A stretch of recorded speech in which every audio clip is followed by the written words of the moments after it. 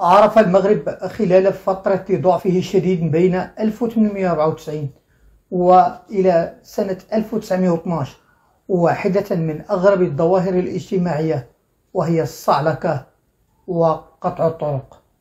وظهرت الصعلكة تزامنا مع الفترة التي كان فيها المغرب مقسما بين بلاد السيبة وبلاد المخزن.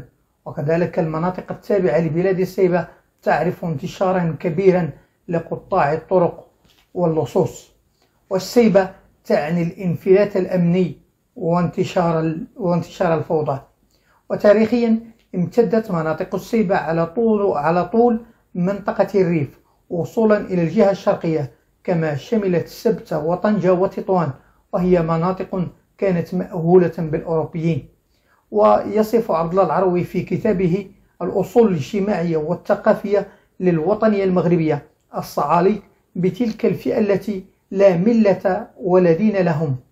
في هذا التقرير التاريخي نتعرف على أشهر قطاع الطرق ويتعلق الأمر بمحمد الدواس وعن أعماله وعن تحديه للمخزن وعن نهايته ولماذا اعتبر أشهر قطاع الطرق.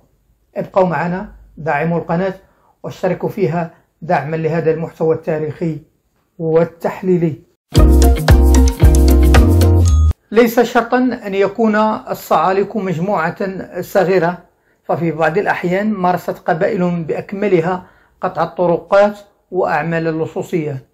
يذكر العروي في كتابه أن سكان قبيلة بني الدر الواقعة قرب مدينة تطوان بدأوا يمارسون نشاطاتهم كقطاع طرق سنة 1902 حيث انتشروا بالأسواق الأسبوعية واعترضوا سبيل المسافرين العابرين عبر ضواحي تطوان.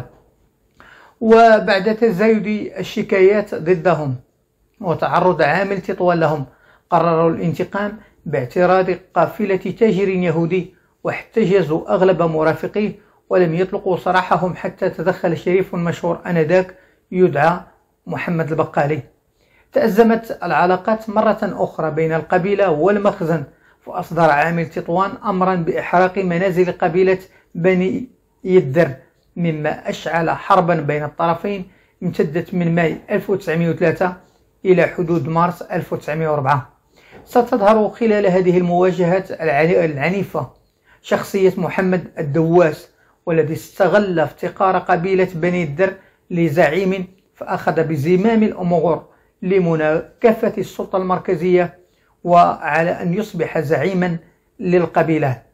وعرف, وعرف محمد الدواس بشدته وشعبيته بين قطاع الطرق إذ أسر الصحفي الإنجليزي والتر هاريس والذي كان مراسلا لصحيفة The Times من المغرب ولم يطلق سراحه حتى أطلق المخزن سراح مجموعة من السجناء الصعاليك الذين كانوا ينتمون لقبيلة بني الدر. بعد انتهاء الحرب بين الطرفين عين عين أو عين السلطان المغربي الدواس قائدا لقبائل أنجرة وهي القبائل التي كانت تسكن بالمناطق الجبلية لجبال الريف وكانت السلطة المركزية تسعى لاحتواء هؤلاء المعارضين وتقريبهم منها رغم أنهم لصوص لضمان الأمن وتفادي المواجهات والسؤال كيف يمكن أن تضع لصا أو قاطع على الطريق ليحل الأمن بالمنطقة؟ وذلك سؤال تاريخي. بالإضافة إلى قطع الطرق واللصوصية كان معظم الصعاليك وهؤلاء اللصوص الوصول إلى الزعامة القبلية أو لما أو لما أو حتى آه، السلطة المركزية.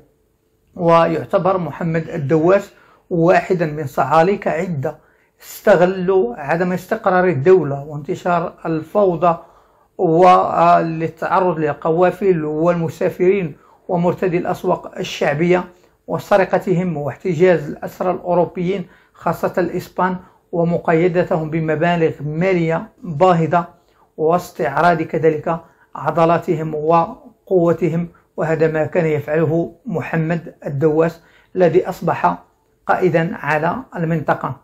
وبعد أن يحصلوا على شعبية واسعة واحترام القبائل يضطر المخزن لتوظيفهم وضمهم لجانبه لأن ذلك أسهل بكثير من مواجهتهم. وهكذا كان يصل أغلب قطاع الطرق والصعاليك إلى السلطة. قبل ما تخرجوا ما تنسوش تابوناو في la chaîne YouTube وبارطاجيو الفيديو مع أصحابكم في مواقع التواصل الاجتماعي. وما تنسوش ديروا j'aime.